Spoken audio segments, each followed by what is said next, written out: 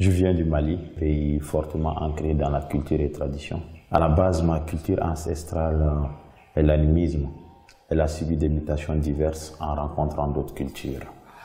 Et je porte en moi un fragment de cet ensemble. Mon travail est une invitation au voyage dans l'univers des matières et des couleurs. Je suis aussi sensible et reste à l'écoute par des questions en provenance des mystères de la science occulte dans la société traditionnelle africaine. Et j'expérimente à les exprimer en art contemporain et dans les nouveaux médias. J'ai eu envie de peindre autrement. Je voulais qu'il y ait de la matière. Un jour, mon vidéoprojecteur est tombé par terre et il y avait un tas de paille à côté. C'est en ce moment que j'ai commencé à faire des tests sur de la paille.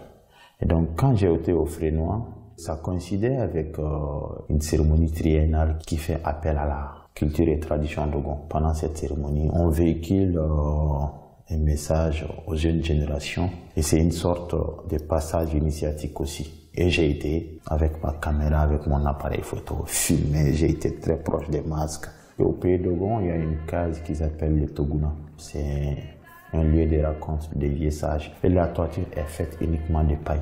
Et cette case m'a beaucoup inspiré. Sur ce Toguna, j'ai fait une projection recto verso. Donc dehors, il y avait le paysage, la nature, le calme. Et à l'intérieur, on a une certaine trouble. On est dans une sorte de transe. Sur mon film, Pharaoh Katama, qui veut dire voyage des pierres. Je me suis inspiré d'une légende au Mali, rapport à la construction d'un pont barrage qui lie le nord et le sud du Mali à travers un fleuve qui s'appelle le fleuve Niger. Et une légende qui dit qu'il y a un village qui a transporté des pierres à coups de fouet pendant la colonisation. Et dans ces films, c'est l'animation qui raconte l'animisme. Ici, à la Casa, c'est un projet sur les immigrés. J'ai remarqué que la majorité de ces personnes font des petits rituels euh, comme ça qui, qui viennent ponctuer leur quotidien. Ces gens, ils sont en communication avec leur maître spirituel qui se trouve de l'autre côté de la mer. Et ils sont tout le temps avec le smartphone.